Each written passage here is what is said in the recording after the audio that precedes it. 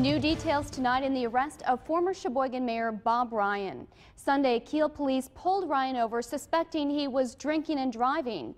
In this Fox 11 follow-up, we get a look at police dash cam video from the incident.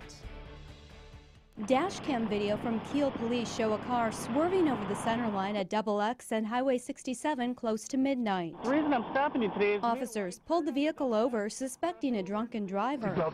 Behind the wheel was former Sheboygan Mayor Bob Ryan. do Ryan. that myself, you know, Mr. Ryan had glassy eyes and slurred speech, and he could smell alcohol. And then Mr. Ryan did admit to having consumed alcohol, so that was more than enough for the officer to suspect that he was possibly under the influence. Police asked Ryan to go through standard sobriety field tests, but say he refused. So they arrested him. Let's turn around. Put your hands behind your back for me. Ryan, who's publicly admitted his battle with alcohol, told police he had been drinking alone since 5 or 6 p.m. He said he was at the Final Lap, Rockville Bar, and Larry's Good Time Inn and had four to five drinks. According to the police report, Ryan said Kiel's mayor was at one of those bars and added he should have called him earlier.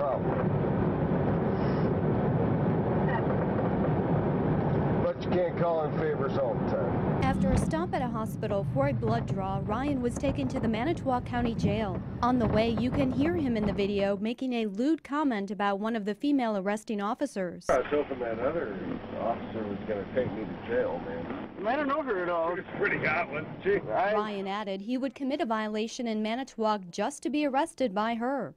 Police issued Ryan a traffic citation for OWI. His initial court appearance is scheduled for April 23rd. We possibly prevented a tragic accident by making the stop and making an arrest. And I don't care if it was Mr. Ryan or who it was. Um, if they're intoxicated, law enforcement's gonna, going to arrest them. We reached out to Ryan for comment on this story, but no one answered the door at his Sheboygan home, and our calls were not returned. Now, Ryan has had public problems with alcohol before. He was ordered to pay a $200 fine last month for disorderly conduct.